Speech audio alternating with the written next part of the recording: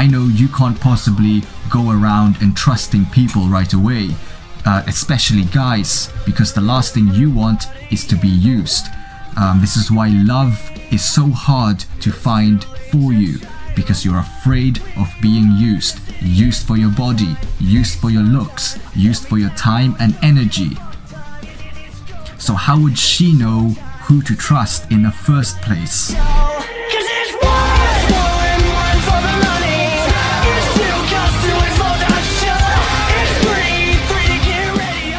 Before I begin, let me quickly tell you a quick story about a scholar and a Zen master.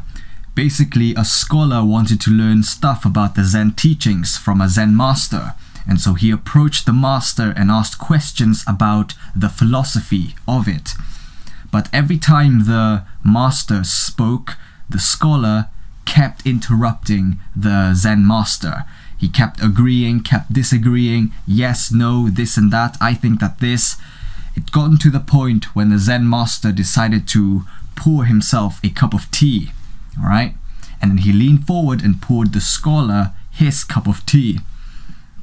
But as he was pouring, the, the Zen master kept pouring water, uh, tea on his cup, and the scholar was like, Stop, stop, you're overfilling the tea. But the master kept pouring. It's gotten to the point where it was now dripping onto the table and onto the floor. The scholar was like, Enough, enough, you're overfilling the cup. The cup can only take so much tea. And so the the master was like, Exactly. You see, your mind is like this cup of tea. You come to me for for knowledge, but how could I ever teach you when you are so so stuck up and filled with your own ideas and knowledge? If you want me to help you, you have to be willing to empty your cup so that I could fill it with knowledge. So when you come to watch my videos, I want you to empty your mind, empty your cup so that I could teach you the you know my teachings on on this topic on this topic which is creating trust. Okay? I mean if you don't like what you're going to hear, then you can always empty the cup and refill it with your own tea. That doesn't you know, I'm not I'm not too bothered about that. You know, you never know I might be pouring poison on your on your cup of tea. but before I continue, let me quick, quickly give you a quick disclaimer. Three, one, do not take what I say seriously. I'm just an entertainer. Two, follow the rules of the land that you are living in. Be a good citizen. And three, be an adult as you watch me. And if you're still a child, if you're under 18, at least have the adult, adult mindset. If you could do that, then I can continue. So first of all, let me define to you what trust is. So basically, again, this video is all about creating trust. Let me define to you what trust is so that we can all be in the same alignment um, without having any miscommunications with each other. Trust, by definition, is you can rely on someone. You can rely on them, on your, you can rely your life on them but you might think, hey, that's just called dependency. Well, in this video, I define trust as relying on someone. Okay, you, you put your you put your trust on someone. For example, um, you tell something, you tell a secret to a friend of yours in hopes that they won't tell others, they won't spread it to any other people. Okay, you are relying on them to not tell anyone. Okay, that's trust. So, trust how can you create trust? Trust isn't created by you telling the girl that she should turn around and fall back because you'll be there behind her to catch her. Nope, that's not how trust is, is made. In fact, she'll think you're a creep uh, who's about to kidnap her or do something very nasty to her. Um, that's not how trust is created, but it's a matter of you, the man, turning around and falling back in hopes that she will catch you. If she doesn't catch you, then at least now you know not to trust her. You need to give your trust to them first and find out for yourself if they'll break it or not. If they do break it, then you'll know not to trust them. It's a price you must be willing to take. But for you ladies, I know it's slightly different. It's slightly different for you. I know you can't possibly go around and trusting people right away, uh, especially guys, because the last thing you want is to be used. Um, this is why love is so hard to find for you because you're afraid of being used. Used for your body, used for your looks, used for your time and energy. So, how would she know who to trust in the first place? Well, I have an answer for that. If the guy is of value and she recognizes that of him, then she'll trust. She certainly won't trust a, a guy who she has no idea of his occupation. He could be a serial killer. Value can be found through what he is well known for. This is why employers who don't hire those whose social media is filled with hate and liars. Believe me, they do check. They want to know who they are dealing with, who they are welcoming into their tribe. This um this goes the same with women. They want to know who the guy is so that he doesn't end up breaking her trust, breaking her heart.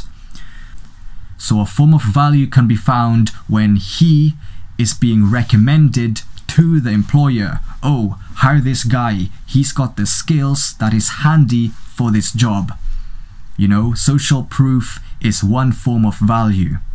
Another form of value is good looks, believe me on that. Um, but the main thing is she needs to see that you are a man of value by demonstrating it through your actions. You know, actions speaks louder than words. Whereas for you ladies, you did you know that if a guy, get this, if a guy finds you sexually attractive, he already trusts you. You know? He will do everything he can to make you trust him so that he can bed you. He'll do everything he can to make you trust him so that he can bed you. He, he can have sex with you. That's just how men is. That it's in our biology. You can't change it, unless of, of course you um you make yourself super fucking unattractive.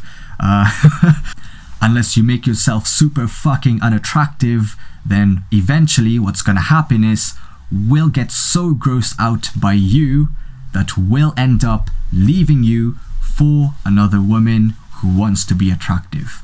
In other words, this woman who actually takes care of her physical appearance, her beauty.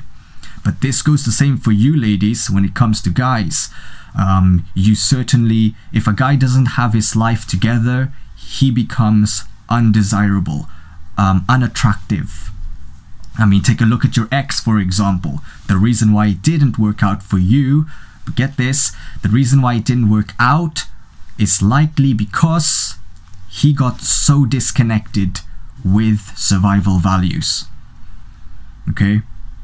He got so disconnected with survival values. What did your ex do? He became too needy with you. He wasn't leading his tribe to a better path. He wasn't who he said he claimed to be. Thus, he lied just to get you. Just to shove that garbage into your tight little pussy. That's what your ex did to you. And so women respect men who are successful, just as men respect women who wants to be beautiful. Beautiful physical wise, beautiful heart wise. You know, one way that I do to give my trust to a girl, get this, this is how I create trust whenever I just, you know, meet a new girl or whatsoever. I've done this plenty of times, like in, in house parties. Okay, this completely annihilates all the all the dishonesties, lies, and setbacks and replaces it with truthfulness, um, honesty, and reliability. One of the ways that I give my trust to a girl is that I give my phone to her unlocked before leaving the room. You know, here's my phone, um, hold on to it for a sec, I'm just popping off to the toilet, I trust you. You know, at this point, she can just just go around all over my social media, look at all the messages, all the photos, all the notes, and everything, knowing that it could it could attract or repulse her opinion about me. But that's the price I'm willing to take uh, when it comes to trust. I mean, I have nothing to hide. I have nothing to hide from her because if I did, then that means I have secret communications that I don't want the other person to know about. How could she possibly trust you when you don't want her to know stuff about you? You know, that you are keeping things from her. One of the best ways that I found in order to form trust is by demonstrating it through taking action. And by that, I give my phone to the girl unlocked without having a panic attack knowing that she could see all the messages other girls send me and I wouldn't I wouldn't have a problem with that. It's better to be honest and truthful than being a liar, right? If being honest and truthful isn't enough for her, then I simply move on. It's not worth my time. I've seen better days.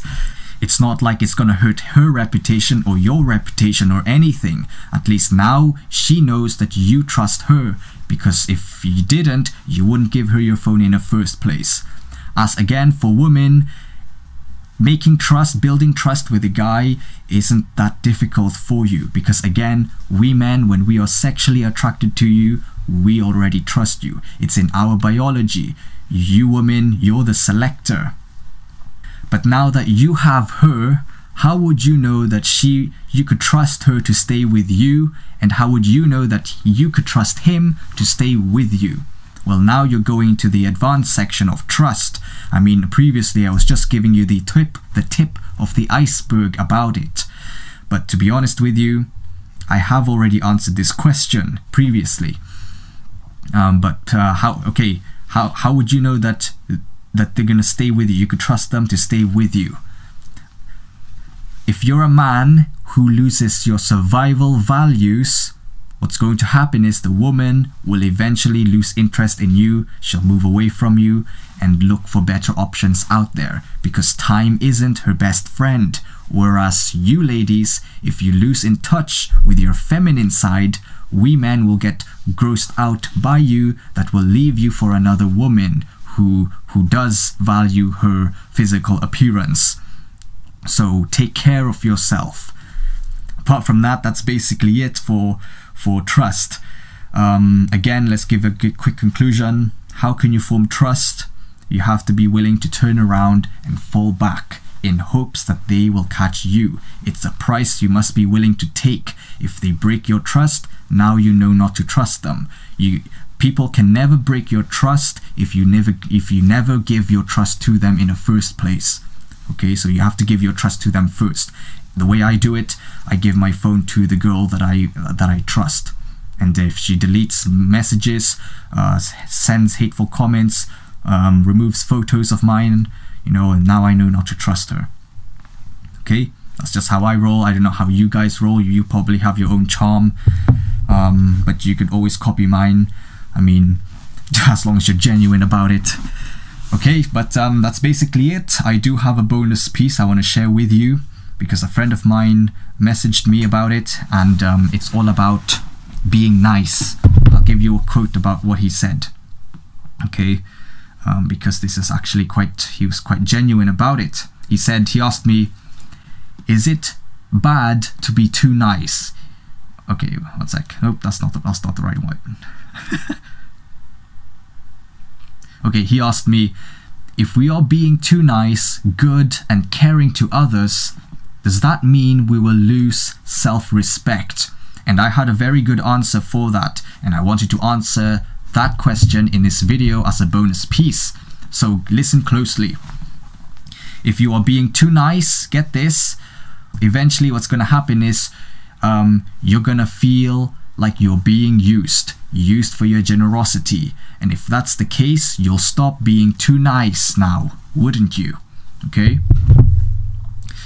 You'll stop something when you feel like you're being used. So either be so good that you don't know that you're being used or or realize that you are being used um, um, you are being used and eventually you'll stop being too nice now, does that mean that you should start acting like an asshole and hate everybody? Well, maybe that's your choice. I mean, I can't control you. You, you are the masters of your own mind.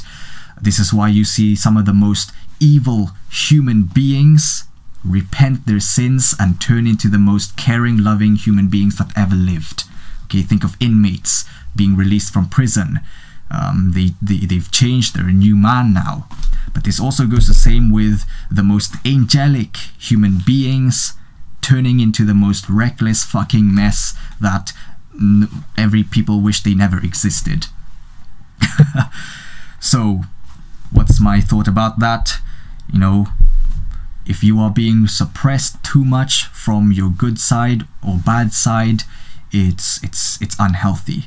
So, in my opinion, you gotta experience both sides of the spectrum. You gotta realize um, that you're being too nice and that you're being too mean.